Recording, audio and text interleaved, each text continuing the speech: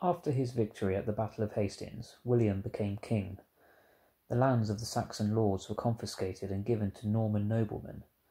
William was keen to know exactly what his new kingdom contained, so he had a list drawn up of every city, town, village, and hamlet, the people who lived there, and the livestock they owned.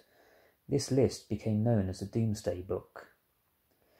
The conqueror was succeeded by his son William II, although he was an excellent soldier and gained control of Normandy and France from his elder brother Robert, he was hugely unpopular in England.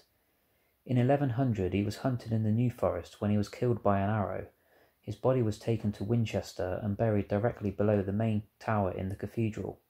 The following year the tower collapsed on his tomb. William had no children, but as soon as his brother Henry heard the news of his death, he marched on Winchester and seized the royal treasury there. He was later crowned king, the other claimant to the throne was his elder brother Robert, who had inherited Normandy when William the Conqueror died. William was on a crusade in the Holy Land when William II was killed. When he returned, his army was defeated by Henry in 1106. Henry was a particularly harsh, strict, methodical man, held in awe by his subjects, but he was wise and well educated and governed England extremely well. When Henry died, the true heir to their throne was his daughter Matilda, but it was Henry's nephew who was crowned king, because some of the powerful barons did not want to be ruled by a woman. In 1138, Matilda's husband, Geoffrey of Anjou, invaded Stephen's territories in Normandy. In 1139, Stephen's troops captured Matilda.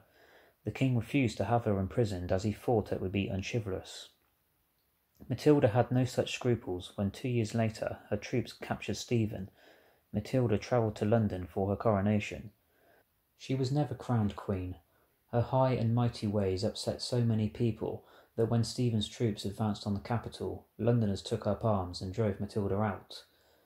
The civil war lapsed into stalemate in 1144 after Geoffrey of Anjou invaded Normandy and was proclaimed duke.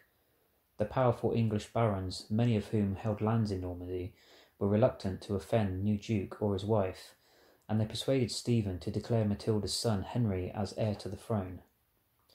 Henry was rough, tough, and clever, the complete opposite of Stephen.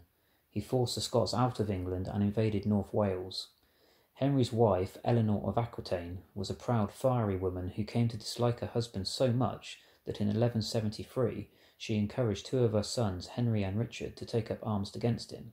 A truce of sorts was reached, but Henry's refusal to let his sons share in his power eventually infuriated Richard and his brother John. In 1188, when King Philip of France declared war on Henry, the two English princes joined forces with him. Henry died shortly afterwards, a broken-hearted man.